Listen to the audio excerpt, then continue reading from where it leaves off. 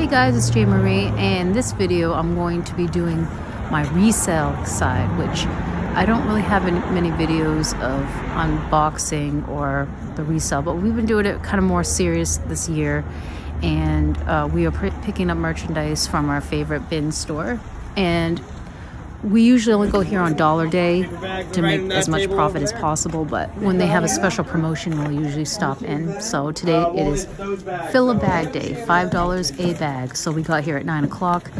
One of the first people in here but as you can see there are plenty of bins to go through now typically this store does not have any really big ticket items as in like big electronics or big uh, appliances or anything like that. Usually they're very small items. So uh, filling a bag, you can make a pretty big profit um, if you get the right items, which I usually get uh, filters, um, some H&B items, uh, cosmetics, um, usually any kind of items that are small, that are sealed, I usually will pick up. So as you can see, we got five bags of items. Like we got some like herbal supplements, we got some toys, we got some filters, we got um let's see. Yeah, some personal items in here too cuz Christmas is around the corner. And we usually do like we'll go here again um like once a week on dollar day, but I couldn't resist the five dollar bag up. Who can resist that? So that is what we did. And uh, we do go to uh, Goodwill also for uh, trying to make a profit with that. So as you can see, there's some kids' costumes we picked up. There's some food coloring, food flavoring.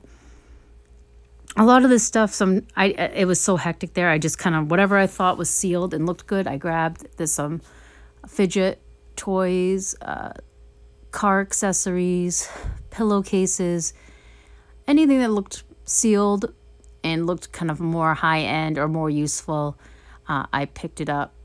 I know there was some pet gear that I also picked up in there.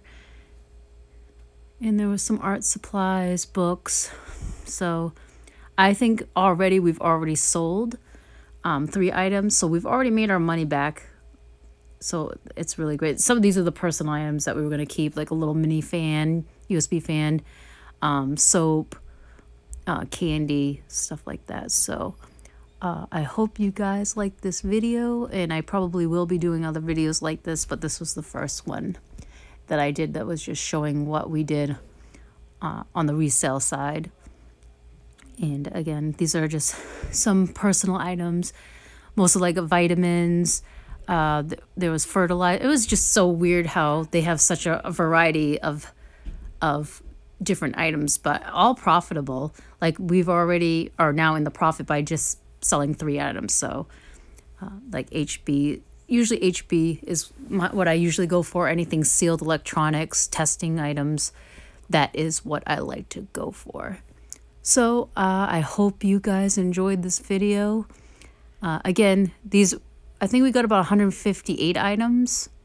So it averaged out to be about 50, 15 cents a piece and uh, yeah, we've already made. I already sold that whirl, whirlpool filter, so that already covered all our costs. So everything else is profit. But I will make a updated video so you guys can see uh, what else we sold and I guess about what the profit really adds up to.